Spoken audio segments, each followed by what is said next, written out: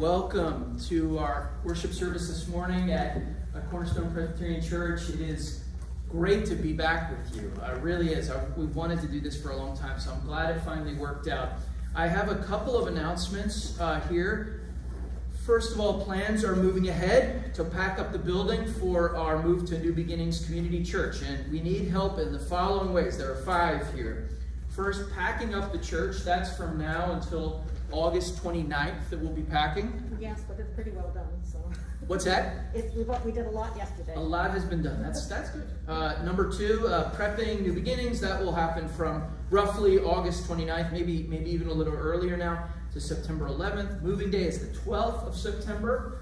Um, and then reorganizing things there from September 14th through 25th. And then there's going to be a community giveaway on September 26th. Check your email for sign up for each of those things. Uh, many hands make the work lighter, and you can speak with Sarah McDonald or Lois Sorkness if you want more specific details about timing and what specific tasks need to be completed. Uh, also, next announcement, we will be welcoming into membership on August 30th the following people. Timothy and Carla Crawford, Noah Zare, and Morgan Zook. So looking forward to that uh, that event on the 30th. And then the annual meeting will also be on the 30th after the morning worship service. So plan accordingly. I guess that's live. Is that correct, Sandy? So we'll actually be here for that. Uh, and then uh, two more things. After the benediction today, just stay seated. Uh, we're going to dismiss by rows anyway, but also uh, Sandy has just a brief announcement from the session uh, right after the benediction. So stay, stay, seated for that. And then please join us for evening worship at 6 tonight. We will be celebrating the Lord's Supper together this evening. Now, with those announcements out of the way, let's take just a couple of moments and prepare our hearts to approach the Lord in worship.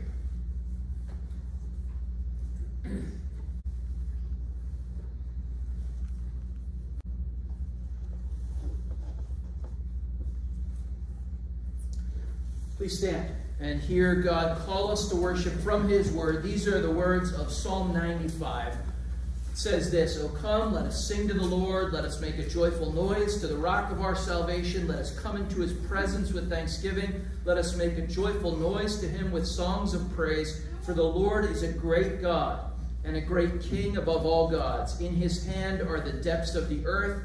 The heights of the mountains are his also. The sea is his for he made it, and his hands formed the dry land. O come, let us worship and bow down. Let us kneel before the Lord our Maker, for he is our God, and we are the people of his pasture and the sheep of his hand. Let's join our voices in worship using the words of Psalm 98. This is hymn 98a, O sing a new song to the Lord.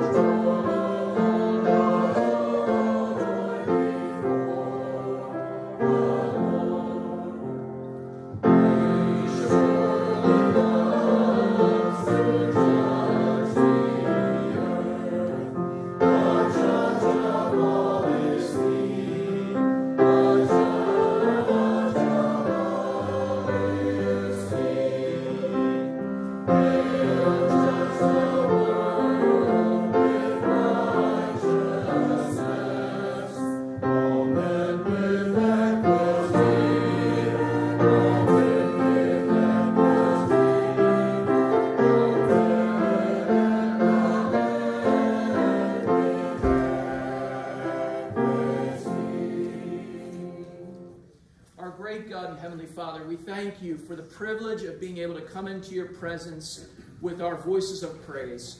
We ask that you would be with us as we worship you. We ask that you would teach us, that you would instruct us.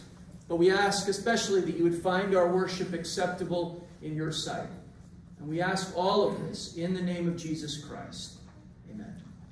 Uh, let's uh, confess our faith together. We'll use the words of the Apostles' Creed. These are printed in the, uh, in the bulletin. Christian, what is it that you believe? I believe in God the Father Almighty, maker of heaven and earth. I believe in Jesus Christ, his only begotten Son, our Lord, who was conceived by the Holy Spirit, born of the Virgin Mary. He suffered under Pontius Pilate, was crucified, dead, and buried. He descended into hell. The third day he rose again from the dead. He ascended into heaven and sits at the right hand of God the Father Almighty. From there he will come to judge the living and the dead.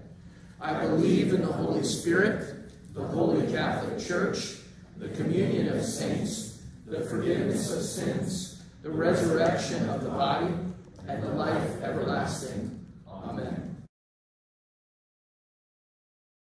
If you have uh, your copy of the scriptures with you, I'd invite you to turn there. I'll read the whole chapter. This is Psalm 67, beginning in verse 1 and going through verse 7.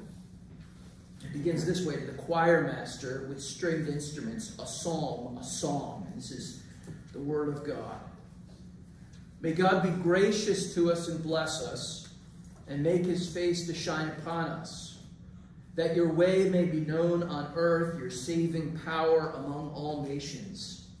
Let the peoples praise you, O God. Let all the peoples praise you. Let the nations be glad and sing for joy, for you judge the peoples with equity and guide the nations upon earth. Let the peoples praise you, O God. Let all the peoples praise you.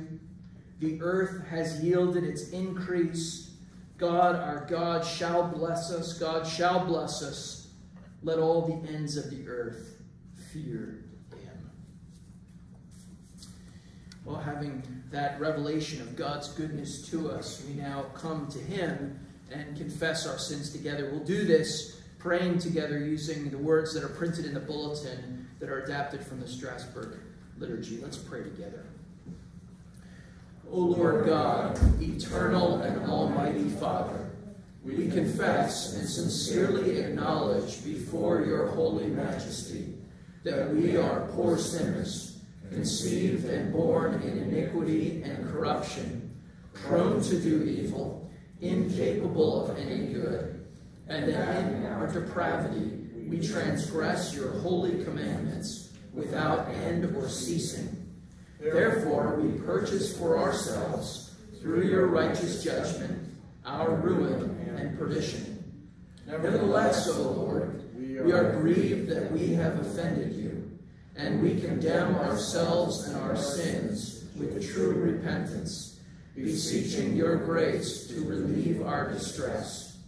O God and Father, most gracious and full of compassion, have mercy upon us in the name of your Son, our Lord Jesus Christ and as you do blot out our sins and stains, magnify and increase in us day by day the grace of your Holy Spirit, that as we acknowledge our unrighteousness with all our heart, we may be moved by that sorrow which shall bring forth true repentance in us, mortifying all our sins, and producing in us the fruits of righteousness and innocence which are pleasing to you, through Jesus Christ our Lord.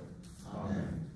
Now hear these words of assurance from the Word of God, from 1 John 1 9. If we confess our sins, he is faithful and just to forgive us our sins and to cleanse us from all unrighteousness. 52 Men of Sorrow.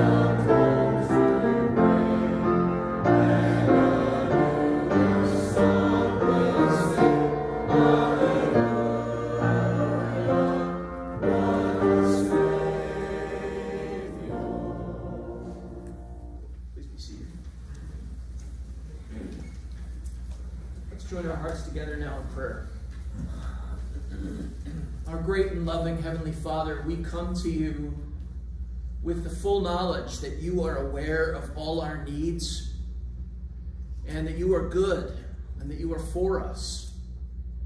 We thank you that you know us better than we know ourselves.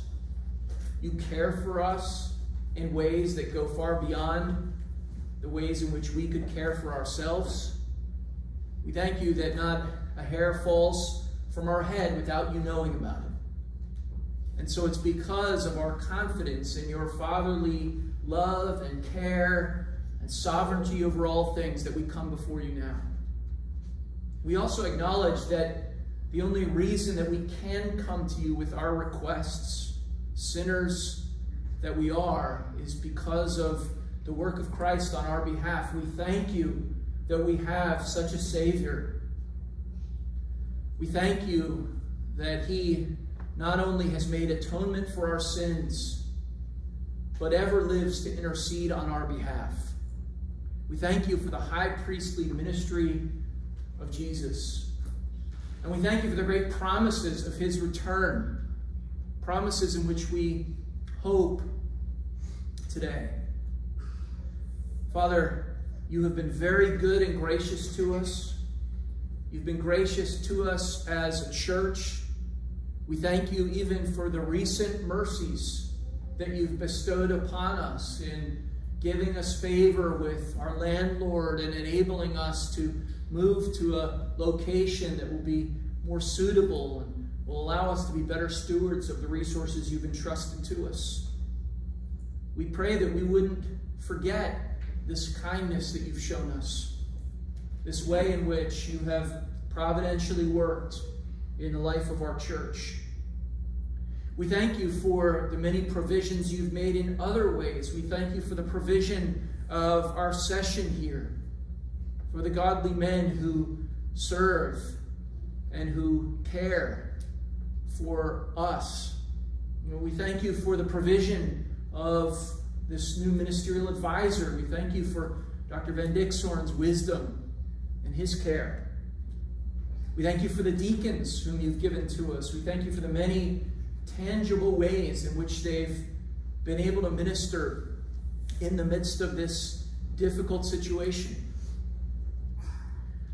Father, we have much to be grateful for, and yet when we look at our own lives and even look at our nation, we also have many concerns. We ask that you would be with uh, the governing authorities at the federal level and at the state level and at the local level. They've been entrusted with very weighty responsibilities. We pray that you would give them wisdom, that they would be spiritually minded. We know that you've put them in these positions for this time. We know that you've commanded us, uh, unless it violates your law, to be submissive to them. And we pray that we would do that, but we pray that you would also be with them, that they would make decisions that would be for the good of the commonwealth, for the good of those of us who are citizens. We pray for our nation, which is struggling in many ways, but perhaps most acutely with the effects of this virus. We ask that you might, in your wrath and judgment, remember mercy. That you would be gracious to us, that you would remove the effects of this in whatever way you see fit. We ask that in the midst of these difficulties, in the midst of these challenges, you would be at work in each of our lives for our sanctification. We pray that you'd cause us to grow in holiness, to grow in Christ likeness, to grow in humility and submission to you, to grow in our trust in you, to grow in our hope for the future, we pray for those who do not know you, many of whom are close to us but far from you. We ask that in your kindness you would draw them to yourself. May they cling to Christ in this time. We ask as well that you would be with those in our own congregation who are struggling, struggling financially, struggling with loneliness, struggling with confusion, fighting against sin. And all these things, we know that we have promises from you, and we cling to those promises and ask that you would provide. You are a good and gracious Father to us. And we come to you with these needs, confident in your goodness, confident in your grace. And we ask for these things in Jesus' name. Amen. Normally, of course, at this time we would have an offering, but we won't be doing that. I would just refer you to the giving options that you can find online. You turn in your Bibles to the book of Jude. We are going to be looking at the last few verses of this book, uh, the last two verses, but I'll read the whole thing. It's not a long book, of course, as you know. It's just one chapter, and it's printed. The entirety of it is printed in your bulletin, but if you have your copy of God's Word, you can open that. I'll read the whole thing. Jude 1 through 25. And remember, as I read, this is, once again, this is God's Word. Jude, a servant of Jesus Christ and brother of James, to those who are called, beloved in God the Father, and kept for Jesus Christ, may mercy, peace, and love be multiplied to you. Beloved, although I was very eager to write to you about our common salvation, I found it necessary to write appealing to you to contend for the faith that was, once for all delivered to the saints. For certain people have crept in unnoticed, who long ago were designated for this condemnation, ungodly people who pervert the grace of our God into sensuality and deny our only Master and Lord, Jesus Christ. Now, I want to remind you, although you once fully knew it, that Jesus, who saved the people out of the land of Egypt, afterward destroyed those who did not believe. And the angels, who did not stay within their own position of authority, but left their proper dwelling, he has kept in eternal chains under gloomy darkness until the judgment of the great day. Just as Sodom and Gomorrah and the surrounding cities, which likewise indulged in sexual immorality and pursued unnatural desire, served as an example by undergoing a punishment of eternal fire. Yet in like manner, these people also, relying on their dreams, defile the flesh, reject authority, and blaspheme the glorious ones. But when the archangel Michael, contending with the devil, was disputing about the body of Moses, he did not presume to pronounce a blasphemous judgment, but said, The Lord rebuke you. But these people blaspheme all that they do not understand, and they are destroyed by all that they, like unreasoning animals, understand instinctively. Woe to them! For they walked in the way of Cain and abandoned themselves for the sake of gain to Balaam's error and perished in Korah's rebellion. These are hidden reefs at your love feasts, as they feast with you without fear. Shepherds feeding themselves, waterless clouds swept along by winds, fruitless trees in late autumn, twice dead, uprooted, wild waves of the sea, casting up the foam of their own shame wandering stars for whom the gloom of utter darkness has been reserved forever. It was about these that Enoch, the seventh from Adam, prophesied, saying, Behold, the Lord comes with ten thousands of his holy ones to execute judgment on all and to convict all the ungodly of all their deeds of ungodliness that they have committed in such an ungodly way, and of all the harsh things that ungodly sinners have spoken against him.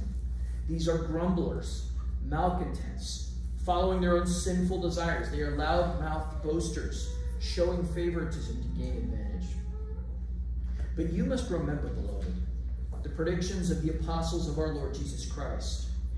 They said to you, in the last time there will be scoffers, following their own ungodly passions. It is these who cause divisions, worldly people devoid of the Spirit.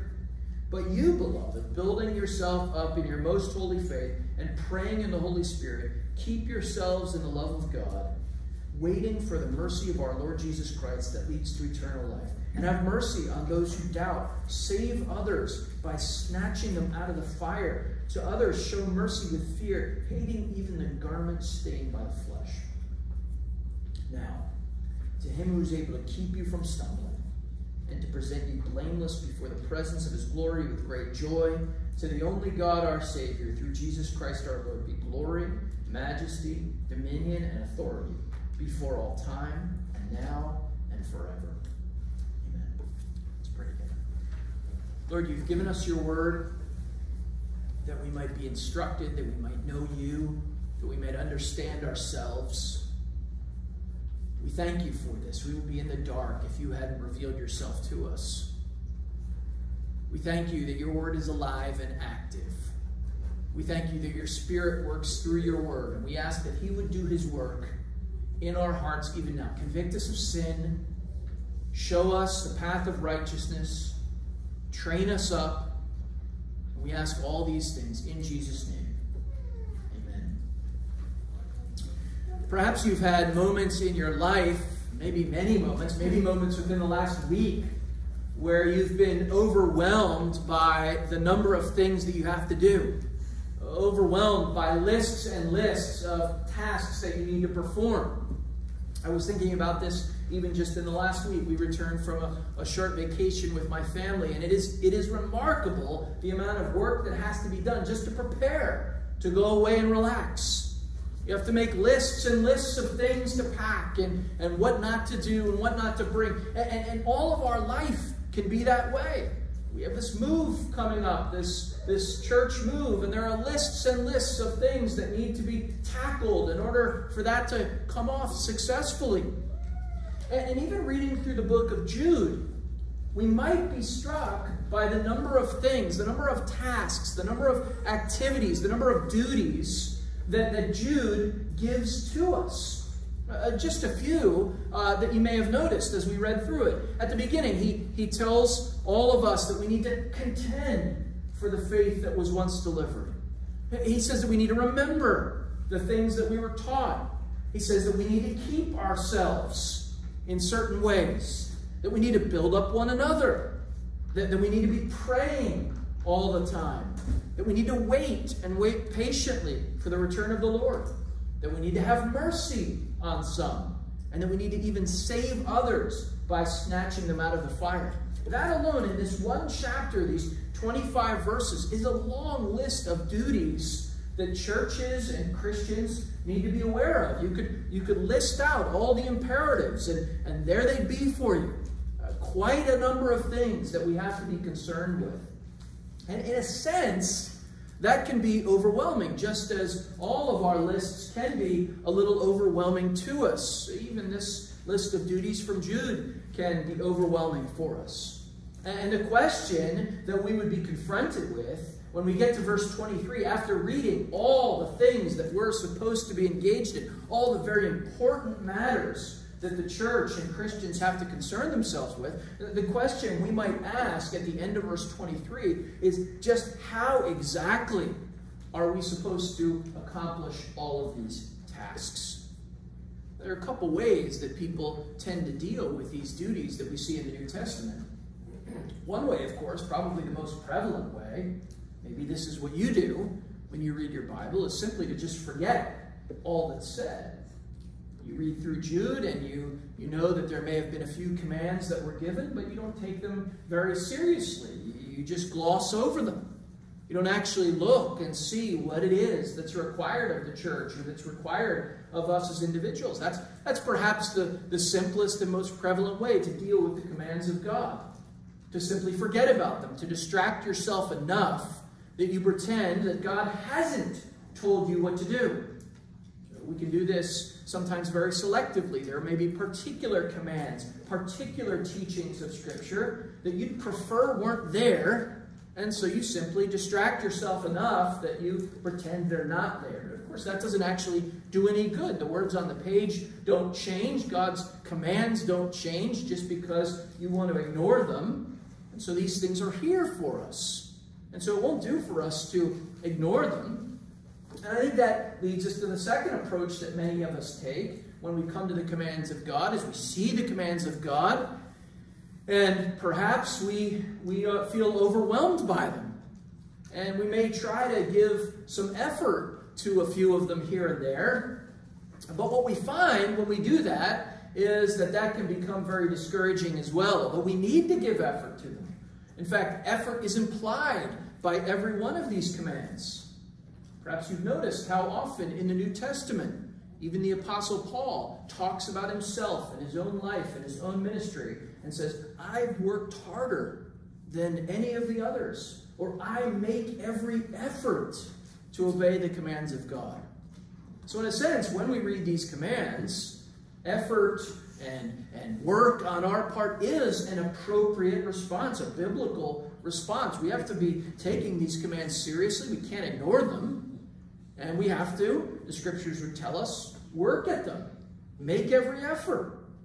But the reality is that as we make every effort and as we look and evaluate our own lives, we realize fairly quickly that we as a church and we as individual Christians, despite our efforts, often fall very short of these commands that we're given. And that's why these words in verses 24 and 25 are so critically important for us. They're important for each of us as individuals as we look at our own lives and take seriously the commands of God.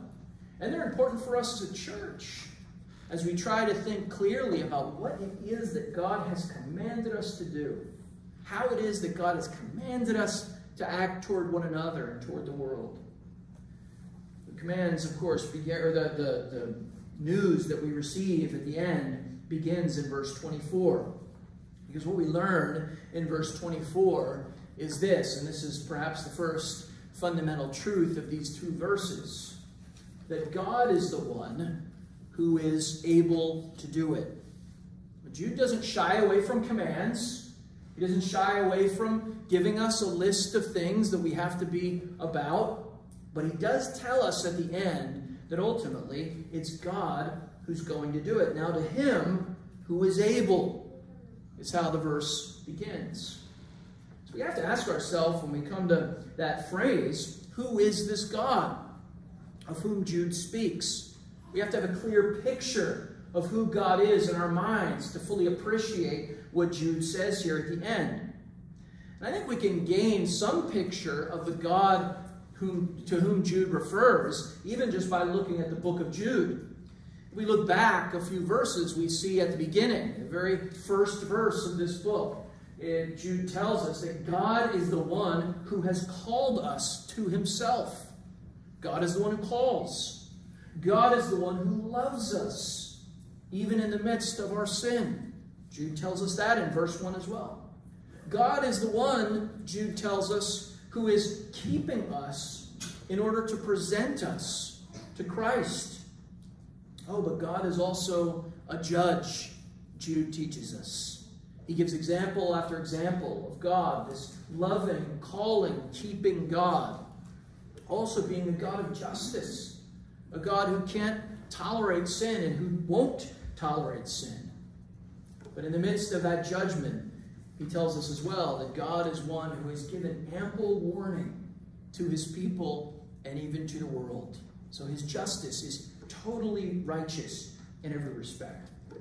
If we go beyond the book of Jude and ask the question, who is this God to whom Jude refers in verse 24, we might be drawn to the words of the Psalms.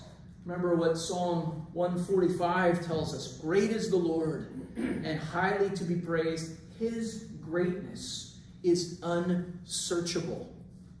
Or remember what the prophet tells us in Isaiah chapter 40. He says this He asks a series of rhetorical questions Do you not know? Have you not heard? The everlasting God, the Lord, the creator of the ends of the earth, does not become weary or tired his understanding is inscrutable. He gives strength to the weary, and to him who lacks might, he increases power. Though youths grow weary and tired, and vigorous young men stumble badly, yet those who wait for the Lord will gain new strength.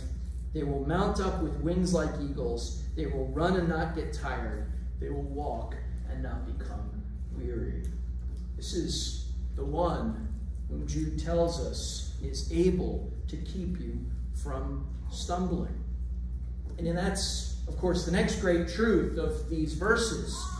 Not only do we have to reckon with the question of who is this God to whom Jude refers, but also what is this God going to do in our lives? What does he promise? And this, of course, as well begins in verse 24. Now to him who is able to keep you from stumbling and to present you blameless before the presence of his glory with great joy. What is this great God, this unsearchable God, this God who never grows tired, this God who has wisdom far beyond our comprehension, this God who's the creator of all things, including us as human beings? What is this God promising to do for his people?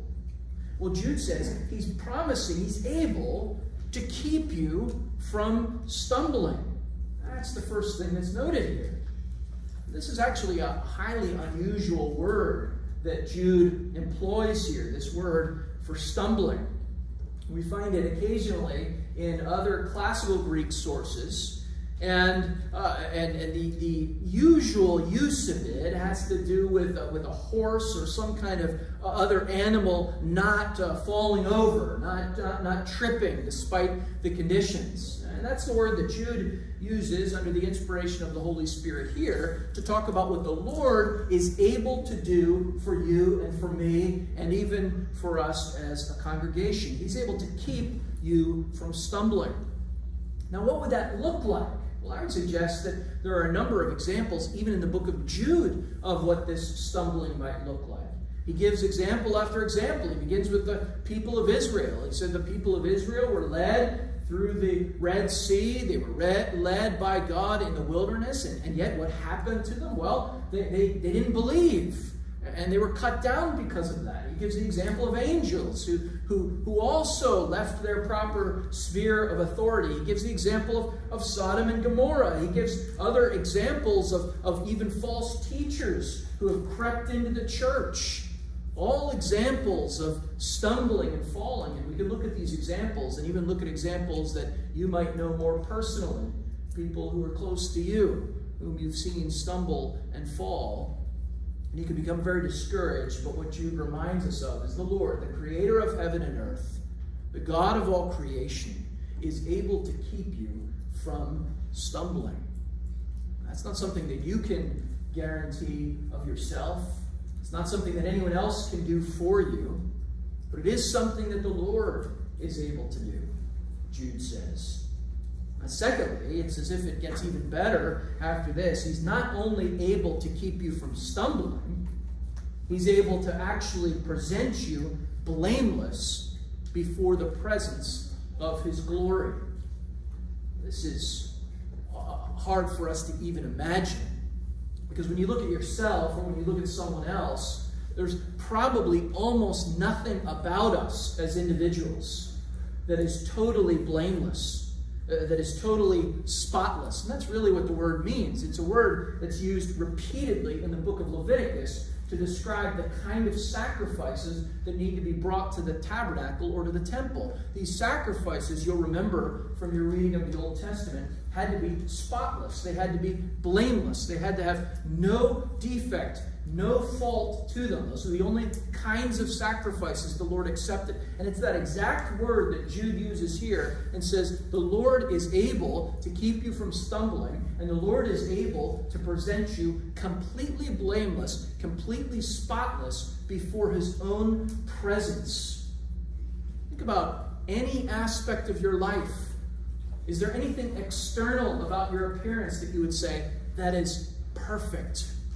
without blame or spot.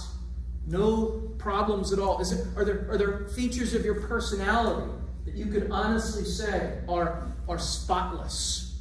No, no problems, no difficulties, and no, no, no complaints at all from anyone. You look at your own spiritual life, you go even deeper. None of us could look at our own hearts and say, we are spotless in our affections, in our thoughts, in our desires. No, all of us, of course, sin in many ways. We're reminded of this in the New Testament. If anyone claims he's without sin, John tells us, he deceives himself, and the truth is not in him.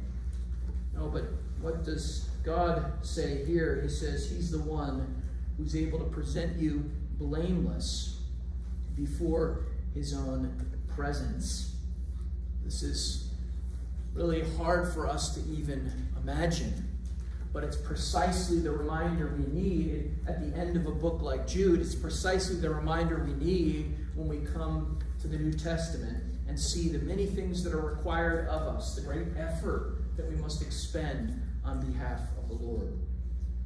Well, of course, it doesn't stop there.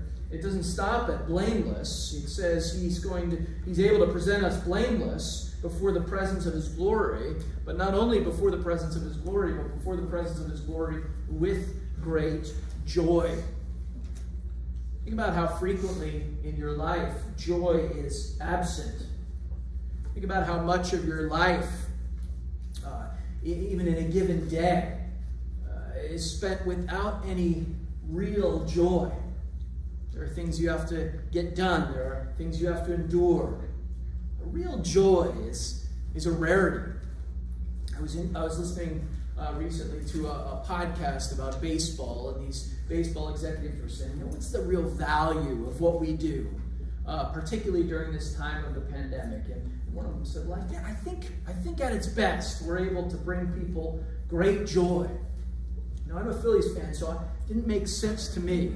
But, but, but I think there's something to that. There is, a, there is a, a kind of joy that we sometimes get, but it's, of course, very superficial and, and very fleeting.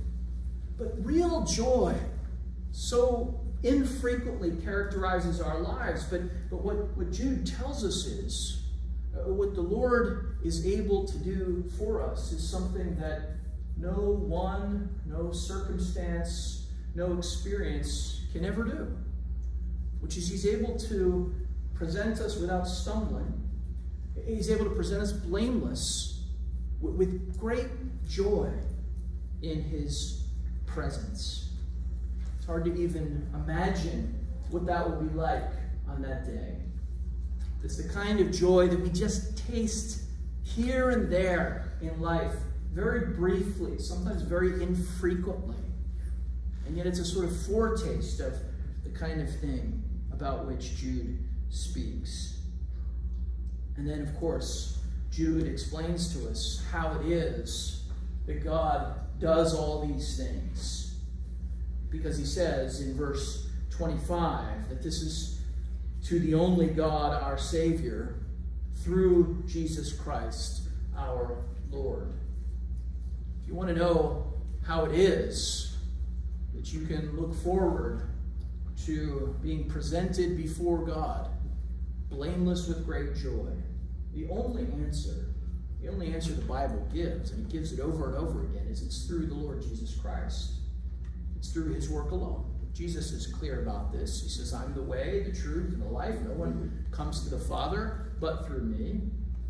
And of course, even if you look at yourself, you know that that must be the case because you know that in and of yourself, no matter how much effort you expend, no matter how hard you try, no matter how many good influences you surround yourself with, you realize you, you could never accomplish what these verses are describing.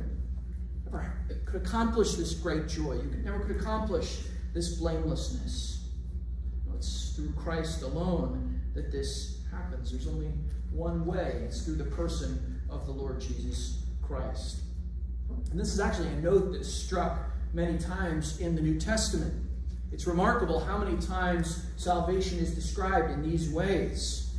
Ephesians 1 comes to mind where it talks about the great work of salvation that God did. And it said, just as he chose us in him before the foundation of the world, that we should be holy and blameless before him. This is the gospel. This is the good news of the Lord Jesus Christ. And the good news is that not only will he do this, but he has taken it upon himself to accomplish it for us. Remember the words of that hymn, day by day. The protection of his child and treasure is a charge that on himself he lays. Through the Lord Jesus Christ that all these things happen. And because of that, of course, Jude then reminds us that it's Christ alone who deserves uh, the glory. Here's what he says in the remainder of verse 25 through the only God our Savior, through Jesus Christ our Lord, be glory, majesty, dominion, and authority. And it's at this point we need to ask ourselves are these the things that you would ascribe to the Lord Jesus Christ? Is it the case that in your thinking, in your worship, in your reading of Scripture, you ascribe to the Lord Jesus Christ and to Him alone the glory that He deserves, the majesty that, it, it, that is His, the dominion that He alone possesses, and the authority that the Word tells us He has? Are these the things that you ascribe to Him in your work and in your actions? And then finally, of course, Jude reminds us of the duration of all of these things glory, majesty, dominion, and authority. How is it that Christ receives this? When is it that Christ receives this? Well, of course, Jude reminds us it's before all time, it's from eternity past, but it's now as well, and it will be forever in the future. Jesus Christ is as majestic, as in control, as sovereign, as deserving of our own uh, ascription of glory now as he always has been and always will be. And this also, of course, brings us great hope because if these things are true of him now and they will be true of him forever, then we can be confident that he'll be the one to bring to pass that which he's promised. Well, what difference does all of this make for us?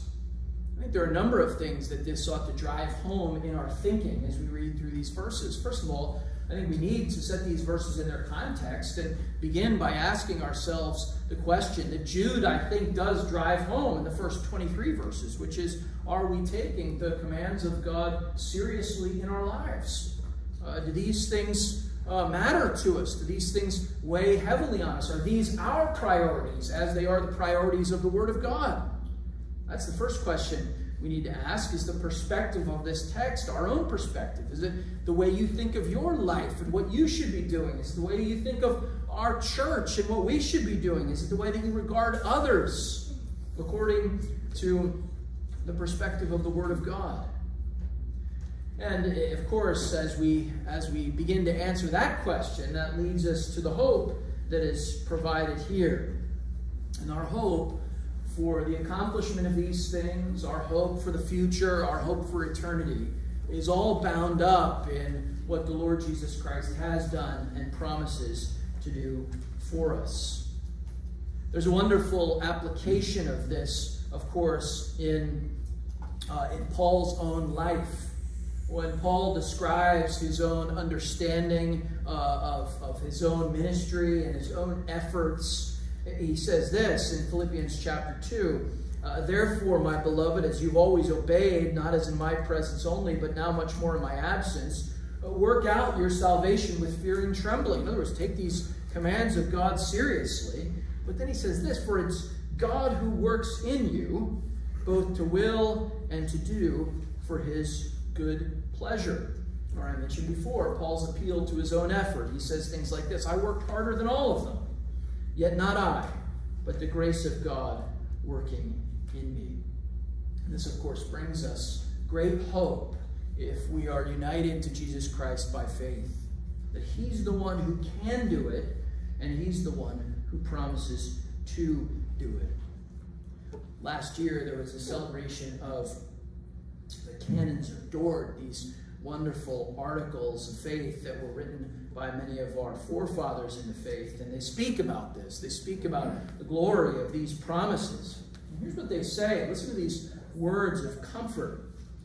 They say this So it's not by their own merits or strength, but by God's undeserved mercy that they neither forfeit faith and grace totally nor remain in the downfall in their downfalls to the end and are lost. Talking about all of us who struggle in the faith. With respect to themselves, this not only easily could happen, but also undoubtedly would happen. But with respect to God, it cannot possibly happen. God's plan cannot be changed. God's promise cannot fail. The calling according to God's purpose cannot be revoked. The merit of Christ, as well as his interceding and preserving, cannot be nullified. And the sealing of the Holy Spirit can neither be invalidated nor wiped out. at a very personal level, of course. We have many who have taken these truths so seriously, particularly in times of suffering. These truths about God's work in preserving his people. There's a wonderful quote about this from Samuel Rutherford who says this about the, the hope that he has for the future in the midst of great suffering. He says, When we shall come home and enter the possession of our brother's fair kingdom, blameless before the presence of his glory with great joy. He says, And when our heads shall find the weight of the eternal crown of glory, and when we shall look back to pains and sufferings, then shall we see life and sorrow to be less than one step or stride from prison to glory, and that our little inch of time, suffering, is not worthy of our first night's welcome home. This is what Christ promises to his people, blameless before the presence of his glory with great joy. And so to him we give the glory, majesty, dominion, and authority before all time and now and forever. Amen. Let's pray. Lord, we thank you for these reminders of the promises we have in Christ. We thank you for the way in which you are at work in us to will and to do according to your good pleasure. We thank you that in the midst of your commands, you give us great grace. And we thank you for all these things, knowing that they come to us in and through the Lord Jesus Christ. And so it's in his name that we pray. Amen. Let's stand and sing the words of the Jude doxology.